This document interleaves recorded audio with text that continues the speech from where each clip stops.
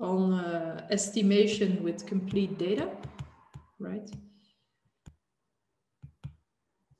is the following uh, notation. So we need a few things that will come back today. We just want to be sure that we've got that in, in, in mind.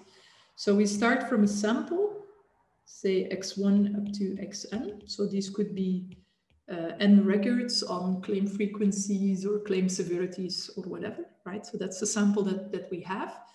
And we're gonna um, introduce a notation to indicate the unique values uh, of, the, of the outcome variable that we observe in this data set. So we're gonna denote from now on the y1, y2, etc. up to the yk as the unique values in the sample.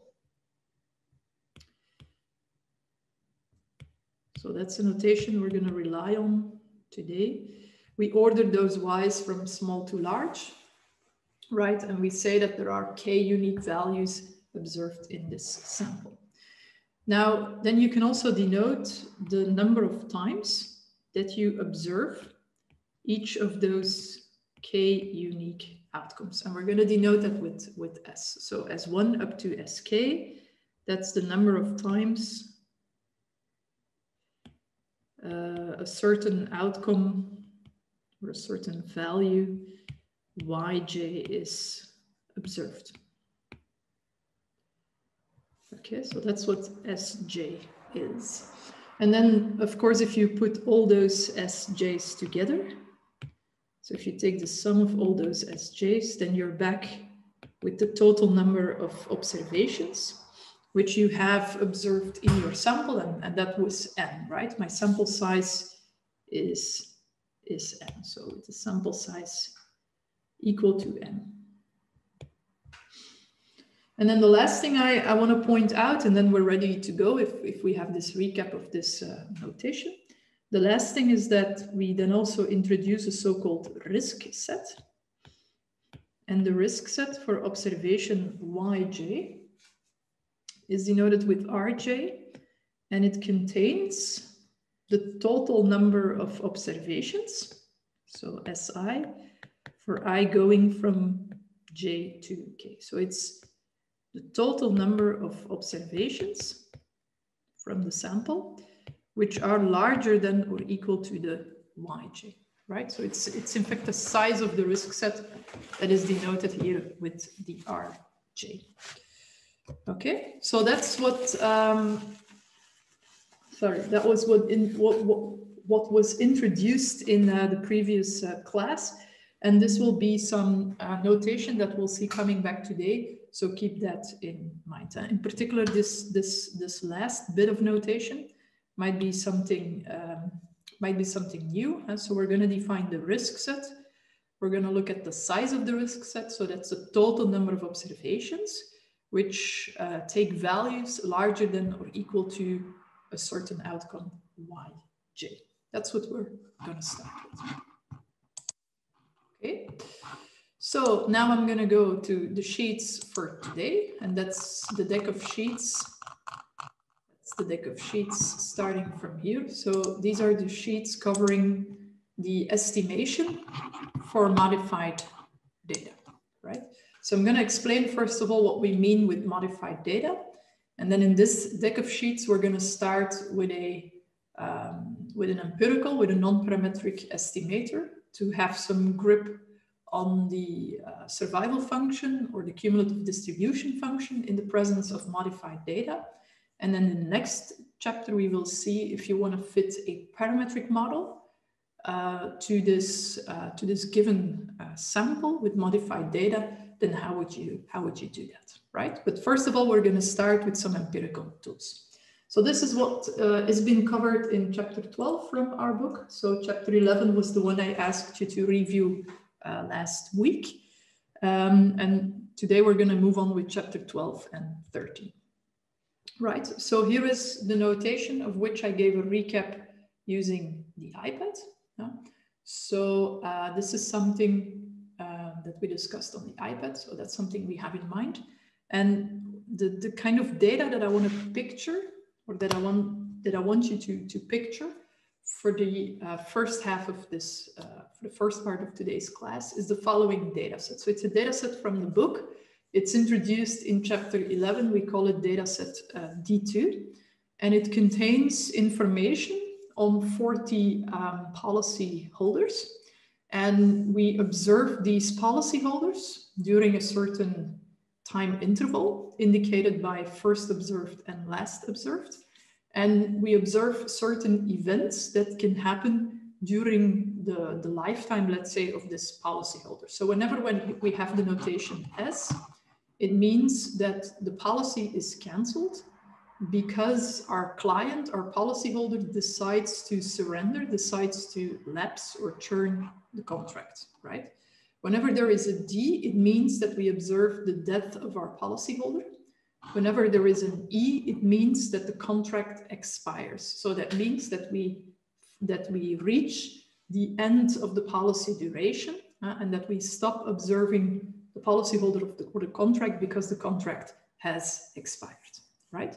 So these are the three events that can take place. There is surrender, there is death of the policyholder, and there is expiration of the, of the period, of, of the policy period considered.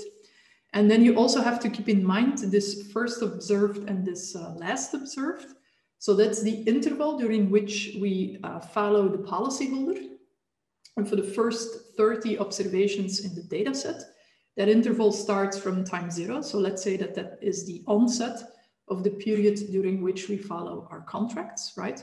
But for the last um, 10 observations in the dataset, you see that those enter the period of study at a later point in time. Uh, so for example, if you look at contract number 40, here the policyholder only enters the study at time 3.9. And before that time, we did not follow this uh, policyholder in our uh, observation window right? So this is something to keep in mind. Uh, and what we want to do now is we want to get grip on data sets with this kind of structure. Uh, to give one example, right? Because there are a few phenomena that are included here. There is the phenomenon of left truncation. There is the phenomenon of right censoring. And we want to visualize the empirical data, which are here subject to left truncation, right censoring. We want to visualize them in a correct way. And we will see that you cannot just do that by plotting the cumulative distribution function of the observed times of the event that you're interested in, but you need to take this right censoring and this left truncation into account. All right, that's the story for uh, the beginning here. Okay, so uh, recap on censoring and truncation. So of course, and we discussed this already, it's not unusual for data to be incomplete because of censoring or truncation.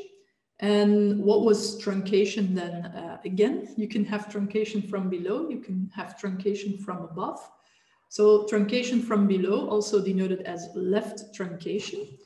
If that happens at a certain value d, it means that when your observation is at or below D, it's just not recorded in the dataset. But when it is above D, it is recorded at its observed value, right?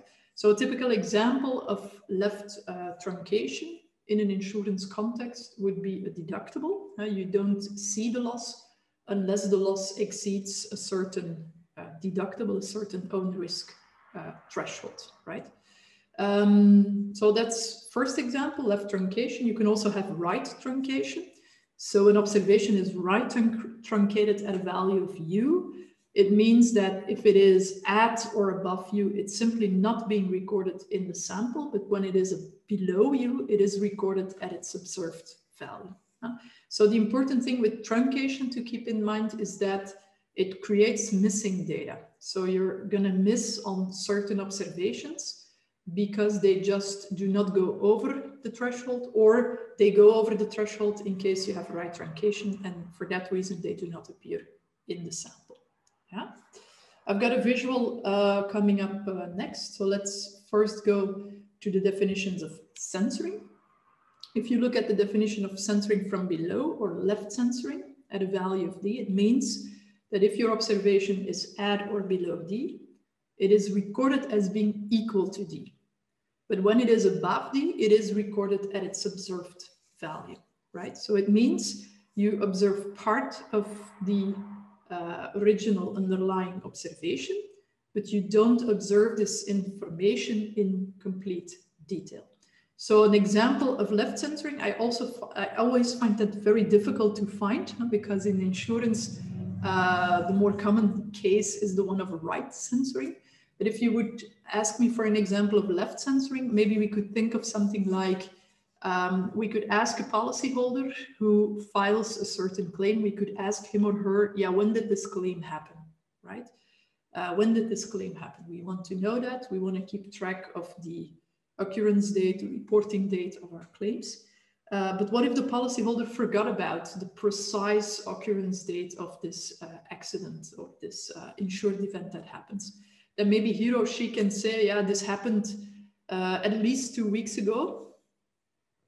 Um, yeah, this happened, uh, and now I should be careful how I frame it, but this happened um, yeah, something like uh, this happened a maximum of two weeks ago or something. I guess that could be an example of, of live left censoring, right? Where you don't remember exactly how long it is, how long it was, uh, how long it was uh, ago, but you do uh, observe or you do remember that it cannot be longer ago than 14 days, right? So in that case, the, um, the reporting delay of my claim, so the time that occurred between the occurrence of the accident and the reporting of the accident, that is less than uh, two weeks, but you don't know uh, how much it um, was exactly. Yeah, so that could be an example of left censoring.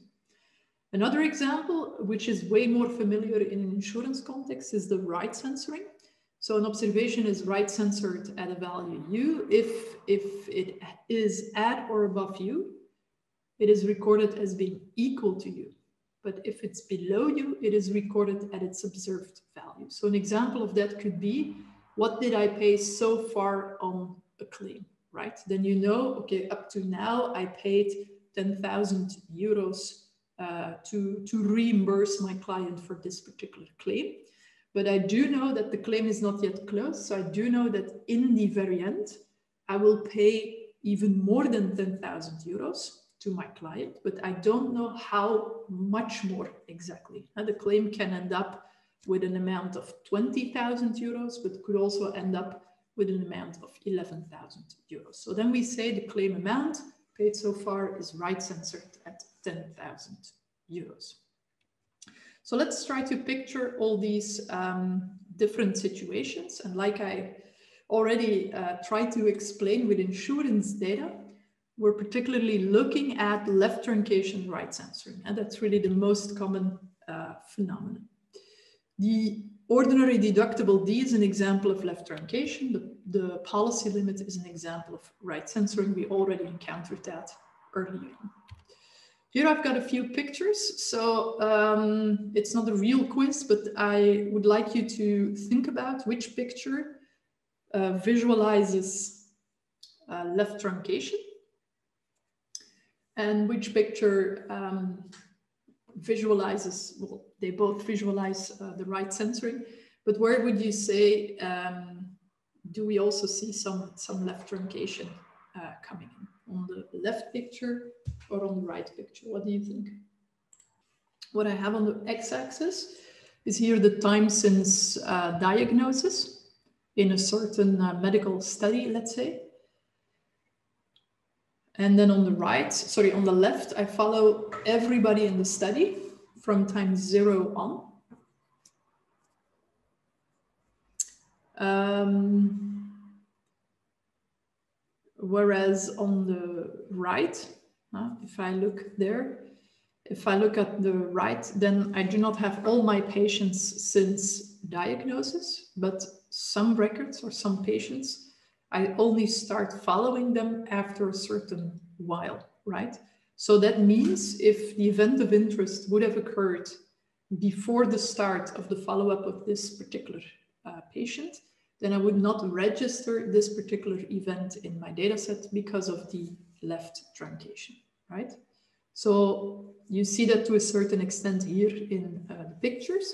We have the events of interest indicated with a, with a cross, and we have the censored observations here indicated with a bullet. Uh, so we see that this data set pictured over here is subject to, um, to right censoring as well. And then on the right, we also see the left truncation coming in because there we don't have the full timeline of uh, patients, or at least not of all patients. We have their full timeline.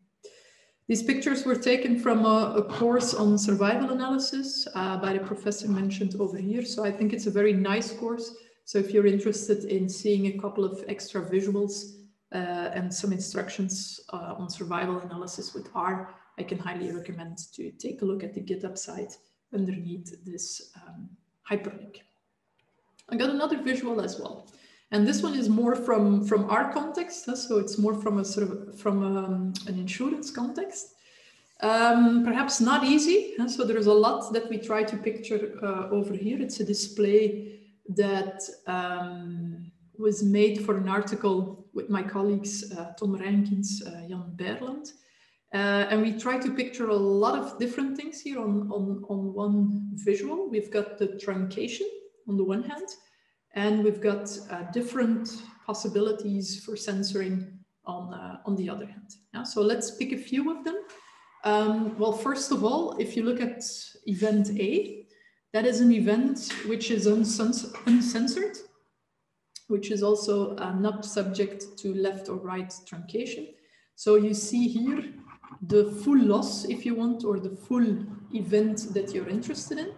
Why is that? Because my loss or my event goes above the lower truncation point, stays below the upper truncation point, and there is no censoring going on over here. So that would be an example of a complete uh, observation.